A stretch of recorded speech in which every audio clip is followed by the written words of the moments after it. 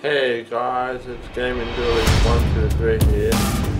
Um, I'm just new to this channel and I just wanted to try it out, see how it goes.